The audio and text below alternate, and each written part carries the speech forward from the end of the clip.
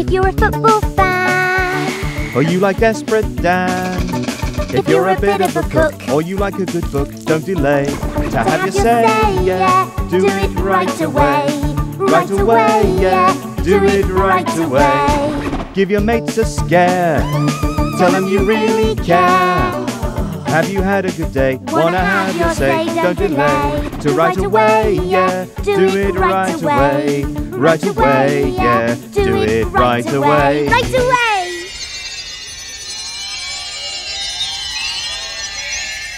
Larry, Larry, are there any writers out there who need our help today? Um, I do hope so, because we're the Writing, writing Rescuers. Aha! a cake. What has a cake got to do with writing? Before you bake a cake, you need a recipe. Ah, yeah. what's a recipe? A list of instructions. Oh, But I think somebody needs our help. oh. The Writing, Rescuers, to the rescue!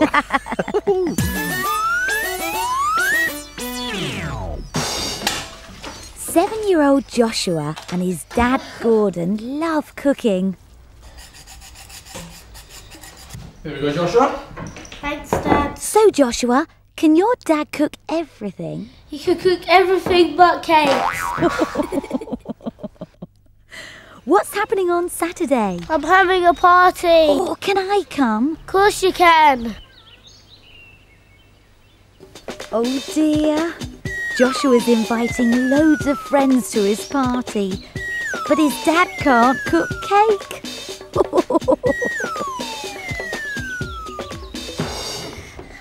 what a huge pile of recipe books. It looks really heavy. It is. Dad must be able to understand one of these. No, can't do that one. No. How's it going? Terrible, terrible. I haven't found one yet that I can do. They're all too complicated. Oh dear. The wooden spoon, uh huh. Gordon is on the phone to yeah, his I've that. mum. And in the She'll tell him how to bake a cake. sieve the flour first. You got Let's just hope Gordon can read his notes. Great. That's wonderful, Mum. Thanks then. Bye. hang on, hang on. Wait, wait, wait, wait. Sieve the flour. Right, take it out. Come on. Oh, Dad. Oh no! Come on, this can't be right. Let's get this. Oh. hang on, hang on. Wait, wait, wait, wait. We've got to grease the tin first, so take it out.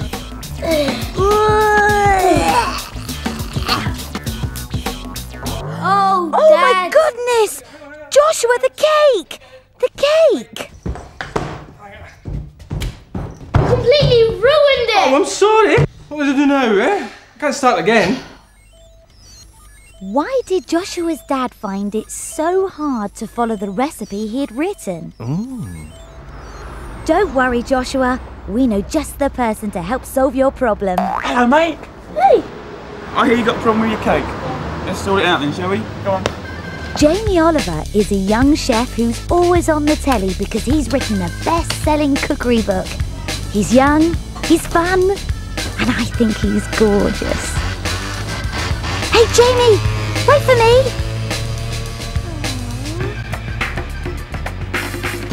So, Joshy boy, me old mate, I heard you had a bit of a nightmare with the old cake. Yeah. What did it look like? Terrible. What did it taste like? Disgusting. Mess? Yeah, everywhere. Oh, Jules. Right, grab the notepad, mate. You're in luck because I'm going to be cooking for a very special TV celebrity tonight. That's me. So, first things first is that we get the ingredients right and we get them in order of the recipe. So, I need butter. Lovely. Thank you. And we're going to keep it out of the fridge so it's nice and soft. Yeah? I need sugar. Right, you little monkey. Second thing, caster sugar. Let's go. I need self-raising flour. I need eggs. How many eggs do we need? Good question, mate, because that's what baking cakes is all about. How much and how many? Okay, so we need three, but unfortunately we can only buy them in half a dozen, which is six. So that's fine. Over here.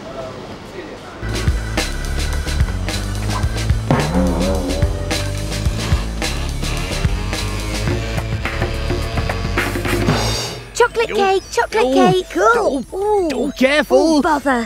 I always forget that cable. So, has Jamie written the recipe now? The first part. And is the first part collecting the ingredients, like Jamie did? Yes, and it's very important to get all the ingredients for the cake before you begin. Uh, why? You might get halfway through and then suddenly realise you've forgotten something really important. Like the chocolate for the cake. Exactly, Oh. Larry. What's next in the recipe, Jamie? Oh. Why can't you just make it up? Oh mate, you can't just make it up. You've got to be exact. If you don't, if you're not exact about the cooking times and the ingredients, then all sorts of things can go wrong. It can be burnt on the outside and raw in the middle. It can taste horrible. So it's really important that we get it right. And the lucky thing is, these three key ingredients, right, self-raising flour, caster sugar, and butter, they're all exactly the same weight, 175 grams. So first of all, 175 grams of flour. Okay, so here we go.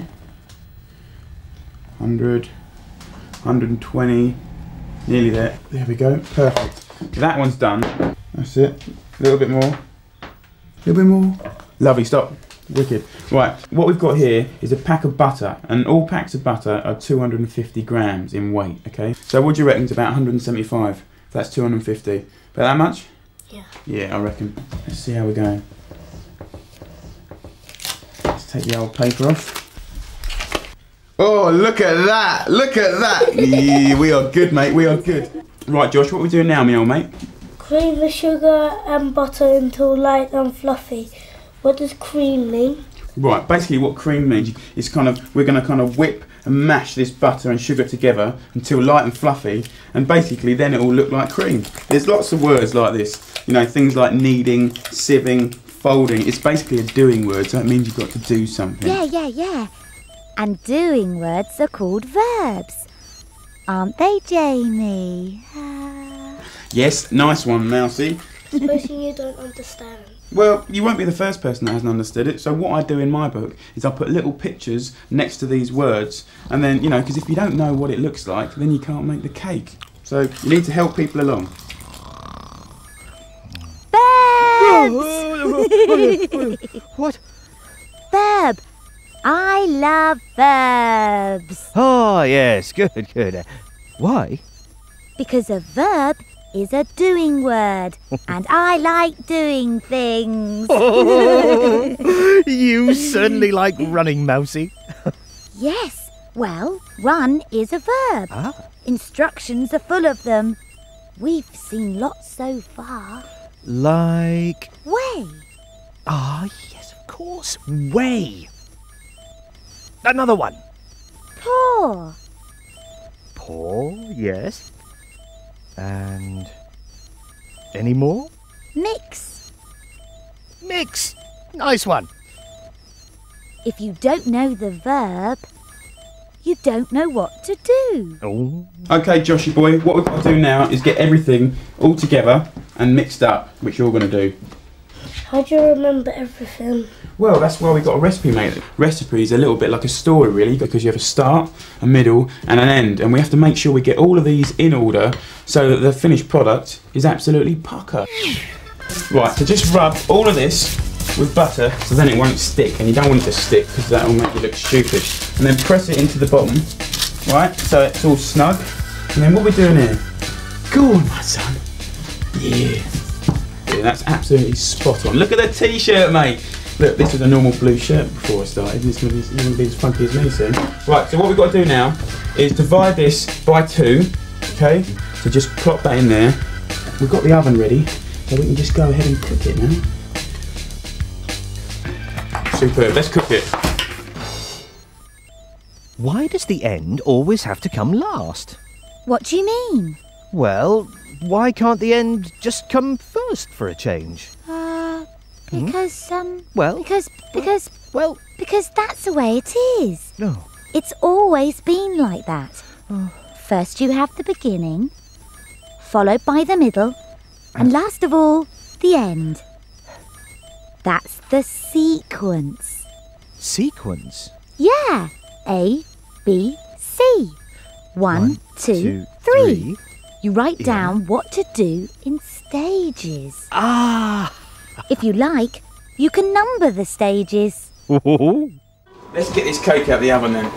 Smells great. Yeah, it looks good too. Right, let's let it rest for 20 minutes, then we can turn it out.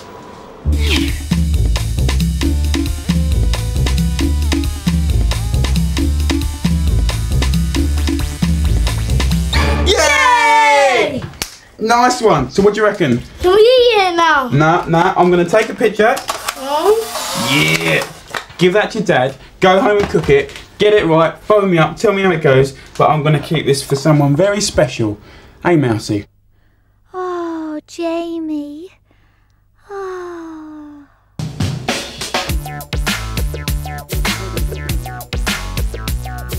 Joshua is writing up everything he's learnt from Jamie. Let's hope his dad understands this recipe. cream the sugar and butter until light and fluffy. I think that's about it, Joshua. So what do I do next? Then add all the remaining ingredients. Right then. Put the flour in. Served, of course, in advance. No bother now, eh? Right then. And into pour it into my dish. Greased it previously. There we go. Right, Joshua, I think this is cool, and we can decorate it now. Can I do the icing? Certainly can, put it on. There you go. Yummy, yummy. Oh. Birthday, dear, Dear Joshua. Joshua, Happy birthday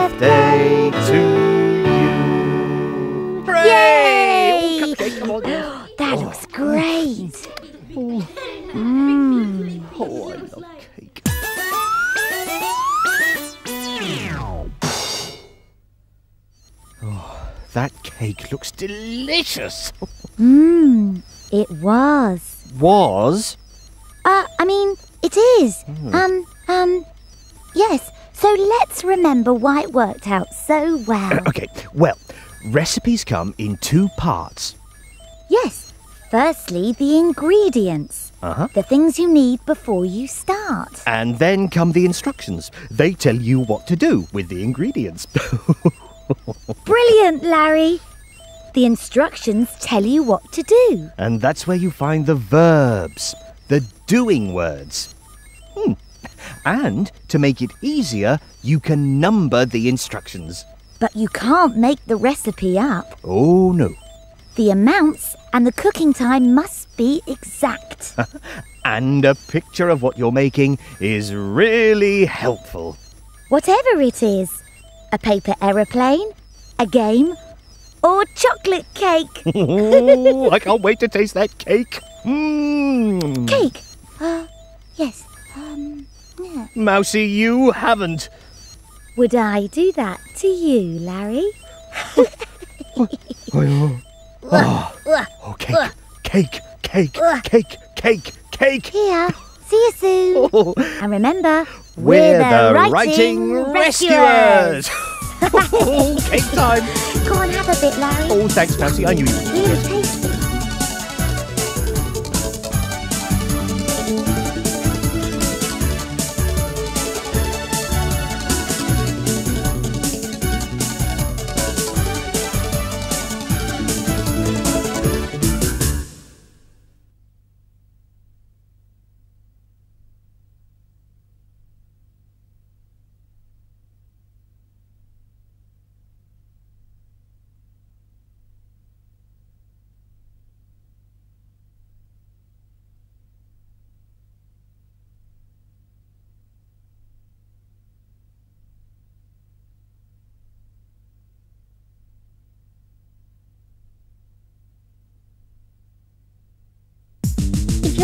Football fan, or you like Desperate Dan, if you're a bit of a cook, Oh, you like a good book, don't delay.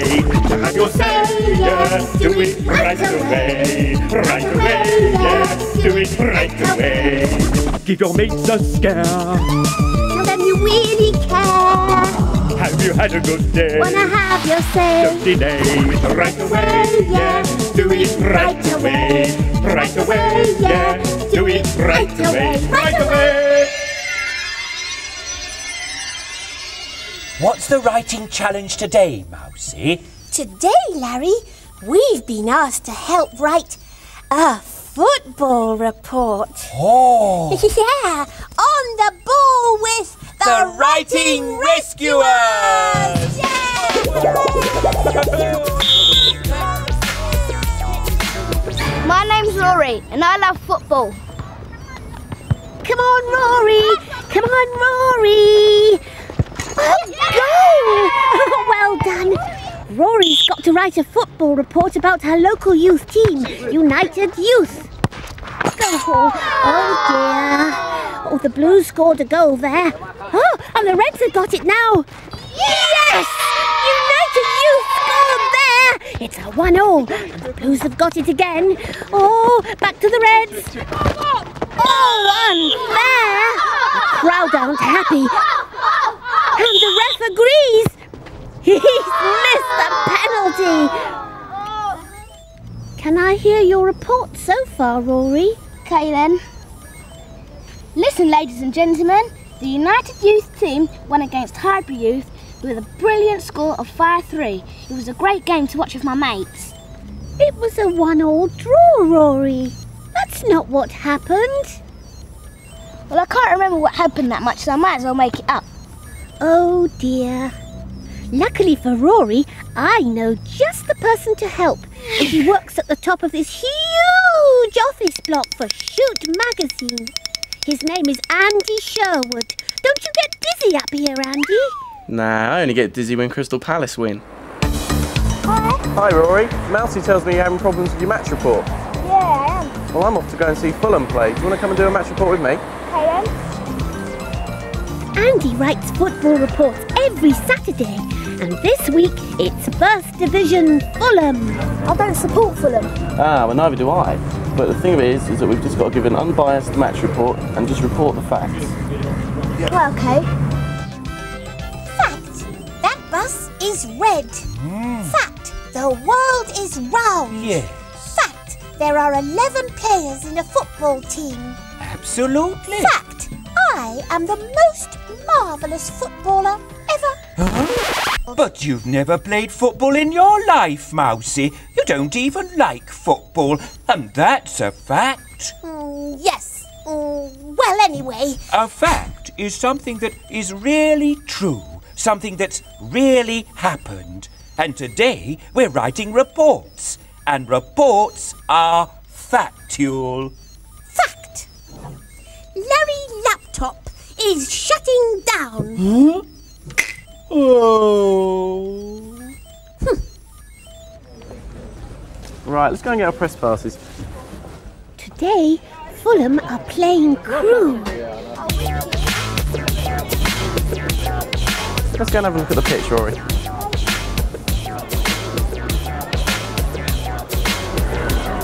So what do you make of it all so far, Rory? Astonishing. Well, that's quite a good word to use, and that's the sort of words we'll be looking to put in our report to describe it for the people who aren't here. Hello. This is where we're going to be doing our match report. You wouldn't believe it that it's actually a press box because there's so many fans around, but um, all the journalists sit in this little area here. How do you do a match report? The best way to do it is if you get your notepad, you draw a nice line down the middle, and if we put an F for Fulham, C for Crewe, every time an event happens on the pitch, we write it down in that team's column. So if say Fulham score, we'll say Collymore, say if Stan Collymore scores, and say if he scores in the sixth minute, we write it in, and if it's a header, we write the word header. What other events could you use apart from goals? Well, you could have penalties, near misses, sending offs, and if we're lucky, you might even get a streaker.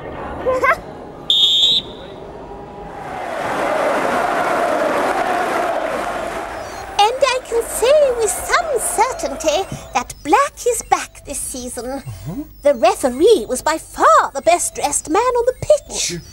I was not so impressed with the players. They all turned up in the same outfit. What a dreadful lack of imagination. And what a fashion no no. What are you writing? It's my football report. Football? It sounds more like a fashion report. You mean I can't write about the clothes? No, a football report is about the game. It's what happens on the field of play. Well, of course I knew that, Larry. I was just demonstrating my huge knowledge of the fashion industry.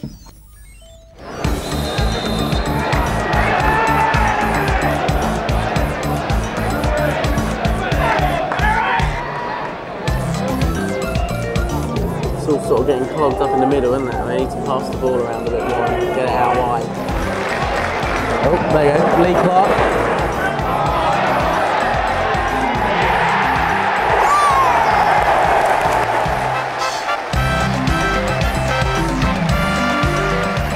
Horsfield. 10 minutes and sort of got the ball and just drilled it in home, didn't you? From about 10 yards out. Excellent goal. There we go, we've got another one coming up here. We're on the attack again.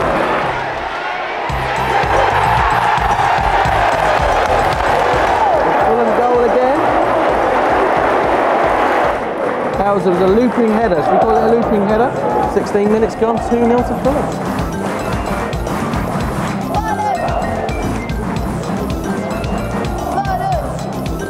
Makes sure we're not so biased in our match report though.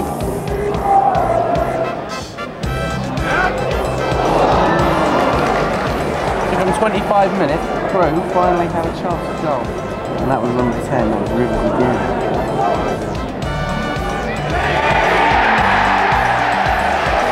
35 minutes, Kit Symons with a towering header there from the corner. It's 3 0 to Fulham there. Yes, 3 0. Do you think they're going to win? Yeah, I think they might now. Right, there's half time and three goals for Fulham and lots and lots of chances. So, I don't think Crewe have got much of a chance of winning this game now, really, Or are they? maybe they're trying to get Fulham tied, so at the second half, Crewe can score. Well, I hope they've got lots of energy left then, because they've got to get four goals now to win. Yeah.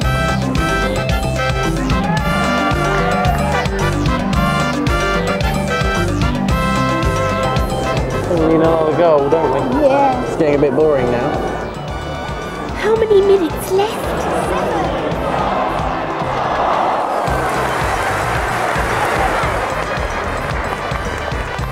It's the end of the game.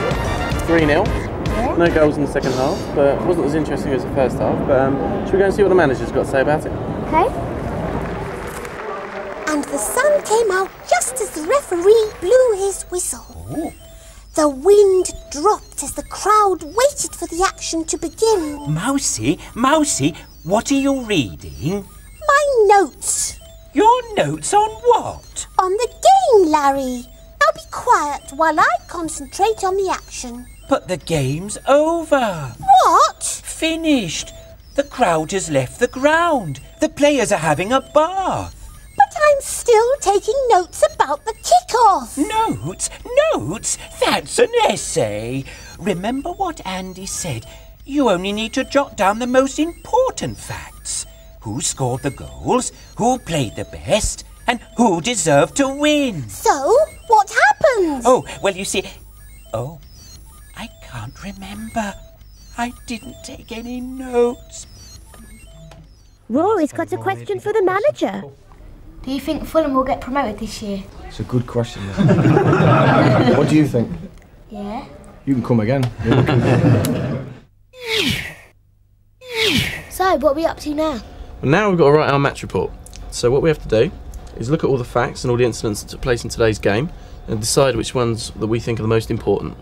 So obviously, Fulham scored three goals, so we've got to include those, um, and perhaps talk about another couple of chances. Um, but we've also got to talk about Paul Bracewell, Fulham manager, and what he was saying in a press conference, because Fulham have set a new record today, 12 games unbeaten, and I think that would make a nice intro for us. Yeah. Fulham set a new club record after thumping Crewe 3 0. Why do you think thumping's a good word, Rory? Because that's what Fulham did. They thumped Crewe. That's our intro, nice and simple. So if we say goals from Geoff Horsfield, Barry Hayles, and Kit Symons, left manager Paul Bracewell, celebrating Full stop. Now we need a quote. I would say it was easy. We got about the job and we, we did it well, you know. And I'm very proud, said Bracewell. And now we can explain the game in a bit more detail. Horsfield started the celebrations when he drilled home a low shot from 10 yards after just 10 minutes. Barry Hayles then made it two with a looping header from Lee Clark's cross, while Welsh defender Kit Symons made it 3 0 with a towering header from a Steve Hayward corner. So what about Crewe? Well, they didn't do very well, did they? Should we have a look? Well, they had three chances, so I guess we should talk about that as well so that our report isn't biased. Yeah. Crewe's closest chance came when Mark Ferran hit the bar in the 32nd minute. So what do you do now? Now we have to write a headline. What makes a good headline then? Basically, the headline should sum up the story in one sentence. So, why don't we put something like Fulham set new record after beating Crew. Now we need a caption to go with Mr. Horsfield. Cracking goal. I think it's a cracking article. Well done, Rory and Andy. Thank you, Mousie. Thank you, Mousie. Another week, another game. Let's see how Rory gets on with this football report. Victory to United Youth by Rory Lewis. Islington United Youth will win the league, says the manager of the team after they won 3-2 against Harvey It was an exciting game with lots of action. Kingsley scored a fantastic header. Gorham passed a brilliant cross to Patrick, who booted a pucker goal.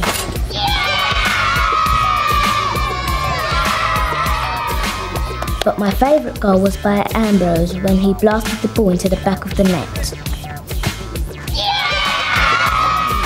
Harbury Youth made a great effort with two goals scored by Smith and Allen.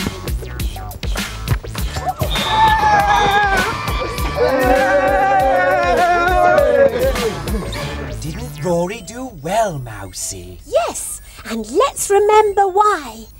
First of all, a report is factual. You can't make it up. You must know what your report is about. Whether it's about a football match or a fashion show. yes, thank you. It's always a good idea to take notes. Don't try to jot down everything, just the most important facts. When you write up your report, look at your notes and decide which facts are the most interesting and which order to put them in. And when you finish, think of an eye catching headline. See you next week, and remember, you're guaranteed to win every time with The Writing Rescuers! That's us! We always win. Help. do, don't we? We do. We're very good at helping. That's what we do.